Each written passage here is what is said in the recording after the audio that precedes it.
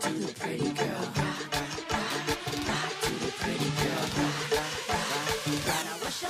guys, welcome to my life as I live it. Check me out. I'm wearing my wedding dress, guys. I'm doing an interesting video today. Today I'm going to be measuring my wedding outfit. It's like it's almost five years. It's four and a half years later. So today, that's what I want to be doing. I want to see how fat I have gotten since I got married. So this is my first outfit. Let's go so you guys can tell me what you think. Was i fashionable or i was outdated?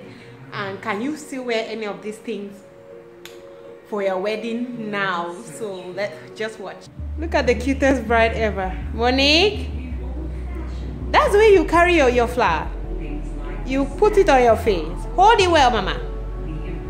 Hold it well